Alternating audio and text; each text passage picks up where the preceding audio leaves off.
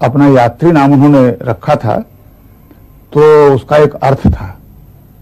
इसलिए अपनी जीवन यात्रा में, विचारों की यात्रा में, कविता की यात्रा में, वो बड़े ही, इसीलिए बड़े अप्रत्याशित है जिसको अंग्रेज़ी में कहते हैं अनप्रिडिक्टेबल है नागार्जुन कब, कैसी रचना उनकी आ जाएगी हम नहीं जानते। यही उनकी प्रतिभा की विशेषता है। मुझे उनकी एक कविता याद आती है और अफसोस यह है कि उनके किसी संग्रह में वो है नहीं। एक छोटी सी, छोटे से पैम्फलेट के रूप में छपी थी जब भूदान आंदोलन नया नया शुरू हुआ था और छोटे छोटे बच्चे पूरे बिहार में उस गीत को गाते हुए घूमते थे। भूदान का मज़ाक उड़ाया गया है। कविता कुछ यूँ शुरू होती है कि, ऊसर बंजर और शमशान संत बिनोवा पावें दान, हर गंगे हर गंगे। और हर गंगे की जो धुन थी, वो लोग कंठ पर बस गई थी।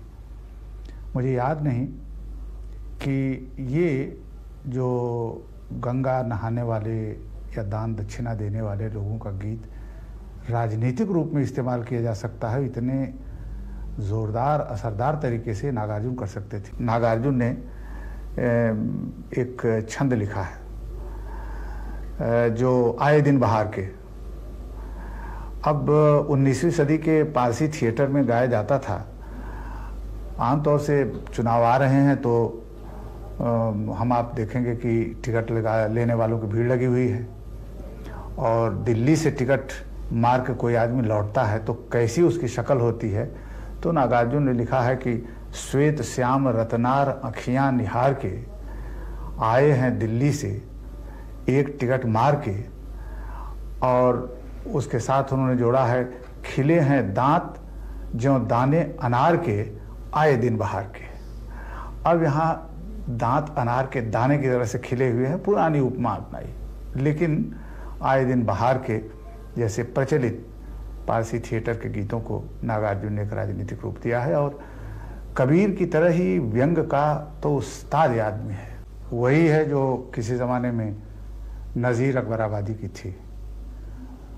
लोग उन्हें शायर मानने को तैयार ही नहीं थे, क्योंकि वो गज़ल गो शायर नहीं थे।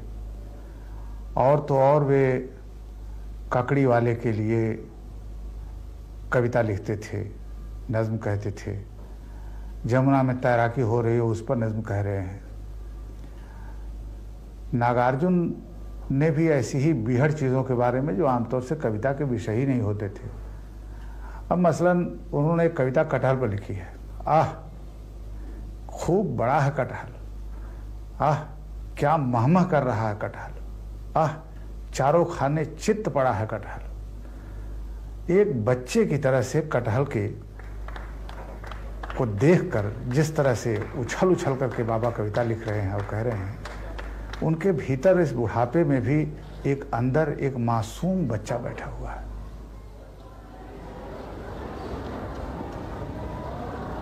नागार्जुन की कविता जन आंदोलनों की धड़कनों की कविता है।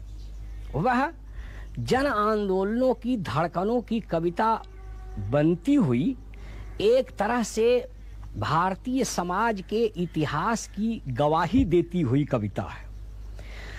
और नागार्जुन की कविता चूँकि जन आंदोलनों को ध्यान में रखती है, इसलिए उसका स्वरूप भी जन आंदोलनों की चिंता के अनुरूप ही बनता है।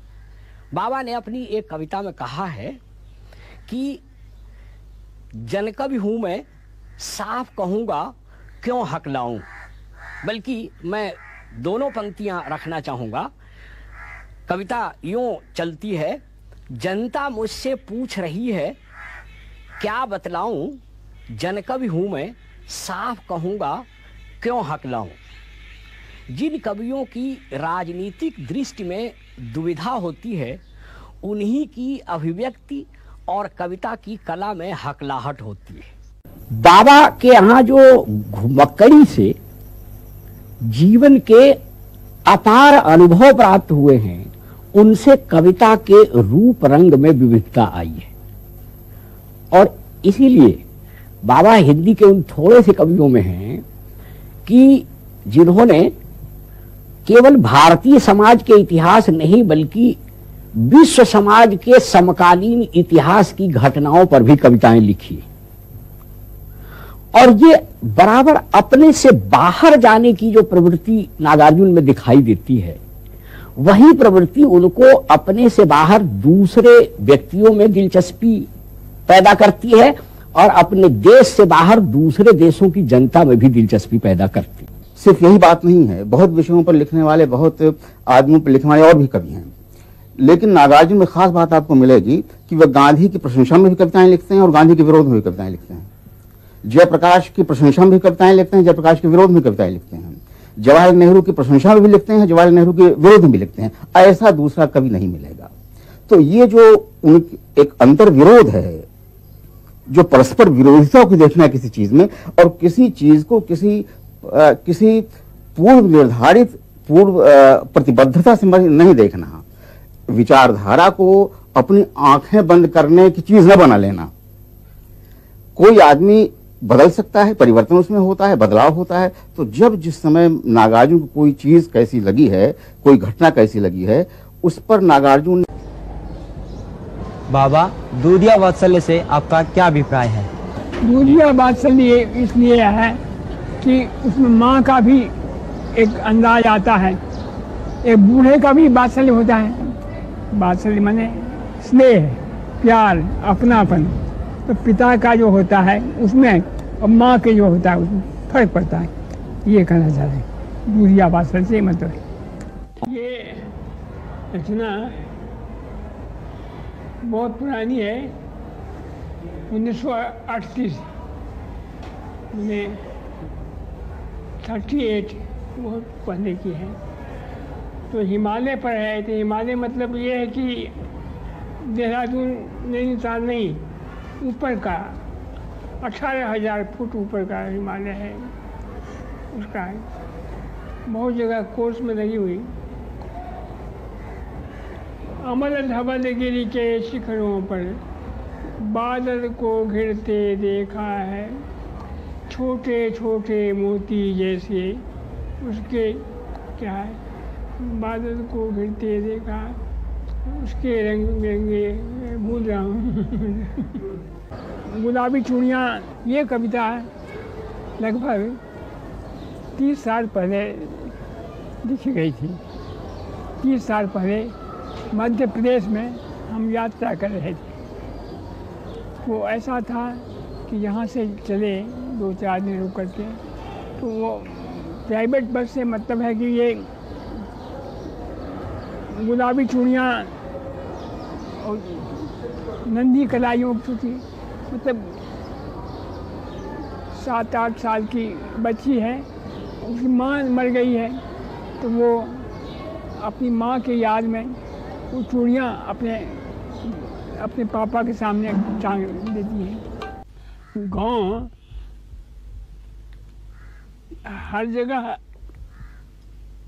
आपने भी देखा, पश्चिम यूपी में भी, पहाड़ों पर भी, उत्तराखंड में भी, और ये बिहार को देख हैं। गाँव उजाड़ हो गया है। उजाड़ होने का सबसे बड़ा कारण यह है कि जीविका नहीं है।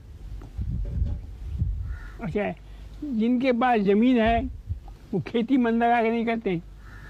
मन के लिए सिंचाई का इंतज़ाम नहीं है। सिंचाई का इंतज़ाम नहीं है। तो वो खादी ज़मीन जो है, मजदूर जो है, भागा जा रहा है पश्चिम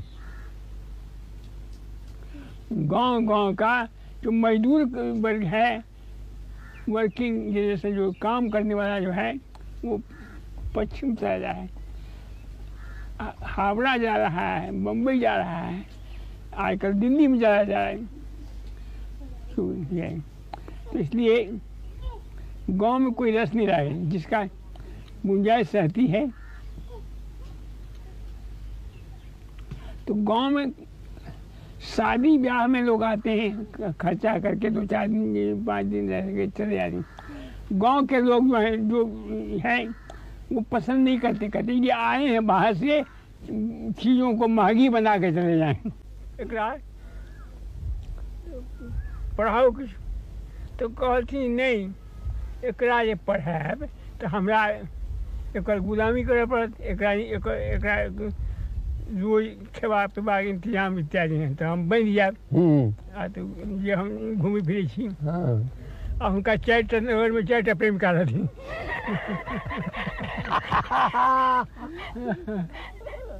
एक कहावत है, जो साथे साथे गैया चराए, कृष्णा हो गए गोसैया वही कहावत हमको हो रहा है। हम यहीं रह गए, वो घूम करके समूचा देश विदेश, समूचा नाम कर लिया। इससे तो बहुत अपार आनंद होता है। ये अपनी माँ के पहले औलाद थे। और उसके बाद कुछ हुआ नहीं तो होता है हमारे देहातों में ऐसा कहा है कि ठगने के लिए आए हैं ये।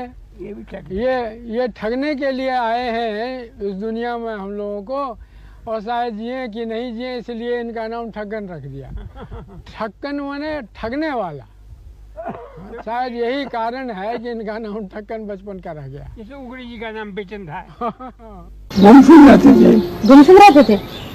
बाद में हमको जब छंदों का पता लगा तो हम लोगों को चिढ़ाने के लिए कब्जा किए हाँ, आप बता रहे थे कि आपके पिताजी क्या कुछ करते थे?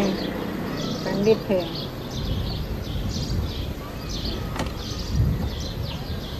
पढ़े लिखे थे विद्वान थे। अच्छा।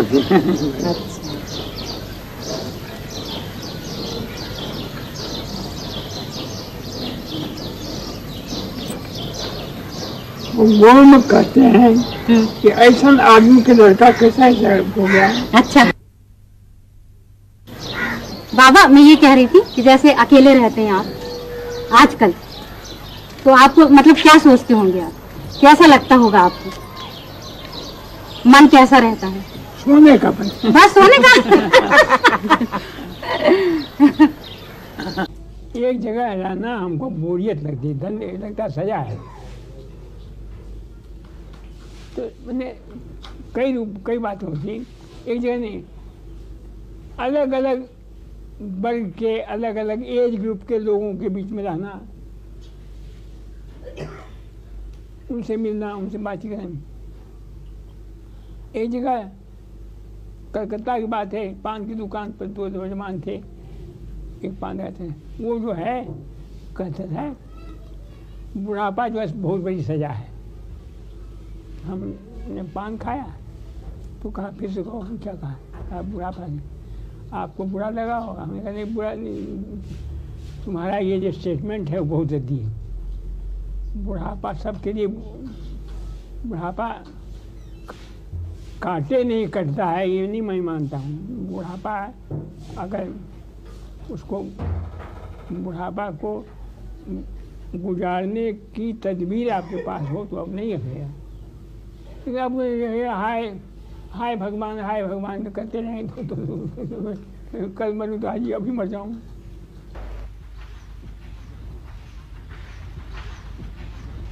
हम श्रीलंका गए।